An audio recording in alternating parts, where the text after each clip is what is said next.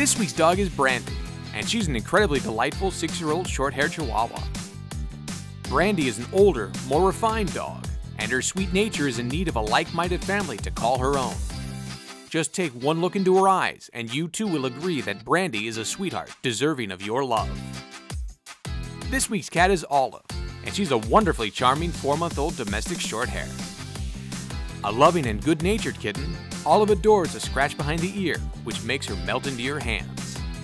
But Olive needs a home and a family, so why not let it be yours and give her all the love that she deserves? These pets and many more are waiting at the Moreno Valley Animal Shelter for a loving family to bring them home. So come by and find a friend today.